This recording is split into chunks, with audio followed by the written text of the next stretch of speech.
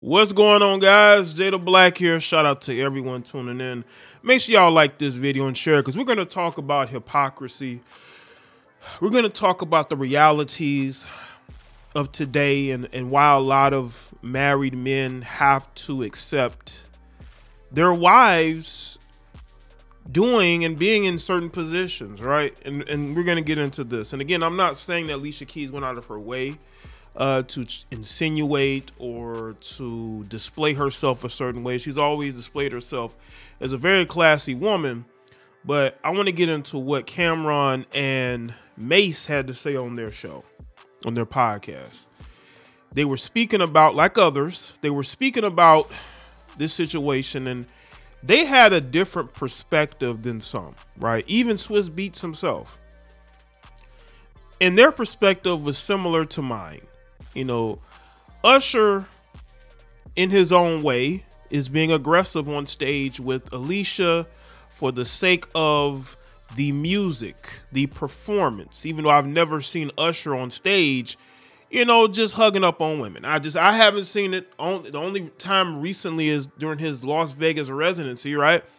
But other than that, when he's performing on stage that I've seen, he hasn't really been uh like how he is now. And again, I'm not gonna say I'm not saying this because I don't know of Usher or listen. I'm a, I'm a fan of Usher. I've been a fan of Usher since the early '90s, since the not the early '90s, excuse me, the late '90s, back to his My Way album, right? And You Make Me Wanna, right? That song and and Nice and Slow. Y'all remember those from the night? Y'all remember that? We going way back. We going way back, right? So I do think Usher deserves this moment. Um, of being able to perform. He did a very good job. He's probably one of the best halftime performances in a long time. I'm talking a long time. Right? Just very well put together. But and we're still talking about it due to the hug. And again, I, I saw the clip and I see people making excuses. Even Swizz Beatz himself again. I talk about how these married men just have to sort of laugh off or try to deflect from what we all saw. Anybody with two eyes saw that there's some chemistry there, but it's also Usher went a little bit off script. And you could tell by Alicia's uh sort of her reaction a bit towards the end of it. You know, he went off script a little bit, did his own thing. And again, I'm not saying Usher's a bad guy. I'm just saying there's a trend. And, and Cameron, Cam'ron spoke about it, and we're going to get into what Cameron and Mase had to say. According to Hip Hop DX, Cam'ron and Mase have criticized Usher for hugging Alicia Keys from behind while performing at the Super Bowl on an episode of their sports show It Is What It Is that aired Monday. The Harlem rappers reflected on the intimate moment between the My Boo collaborators. Alicia Keys, she did her thing too. Mase said while recapping the halftime show, I don't know how Swizz Beatz felt about that hug at the last part but it was a great performance. He was aggressive with people's females, man. He's aggressive with people's females, man. Cam chimed in, which his co-host agreed with by pointing out that Swizz that Swizz Beatz wife, right? And that is like he is. It's like, bro, you're you're you're singing. Not only are you singing to these women, you're dancing with these women, on them. He is a he is showing a bit of aggressive aggressiveness towards them in the sense of sensual aggressiveness. Uh, people say that's all part of the performance. Killa, who said he spoke to Swizz about the moment, continued Usher got a look on his face, a deviousness. But she had a face like calm down a little bit too. I'm just saying, like, yo, that's my man joint. Like, yo, my N word, calm down. While Usher and Alicia Keys' performative flirtation made headlines during the Super Bowl halftime show, the latter's husband seemed unbothered by what the people have been saying about it. The day after the event, Swizz Beatz, who has been married to Keys since 2010, took to social media to respond to the steamy moment and the internet chatter surrounding it. The producer made it clear that he had no issue with Usher hugging his wife, saying, Y'all talking about the wrong damn thing. Y'all don't see that amazing dress covering the entire stadium. Tonight's performance was nothing but amazing with two amazing giants. Congrats, Usher, and my love, Alicia Keys. That song is a classic. We don't do negative vibes on this side.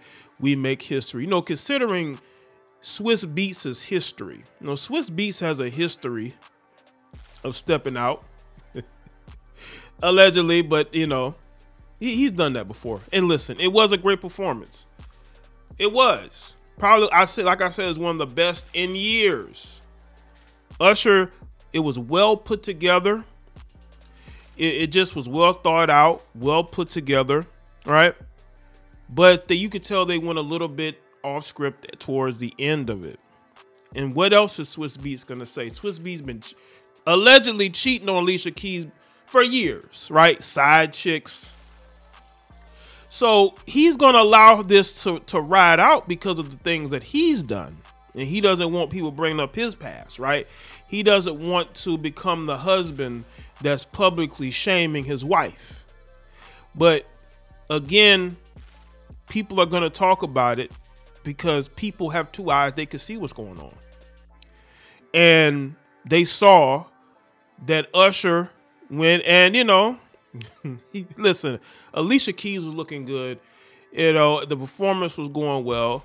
And he wanted to cap it off by, you know, showing his love for Alicia. Right? But again, due to Swizz Beatz and his own history of cheating, allegedly, uh, I, I could see why he's taking this route.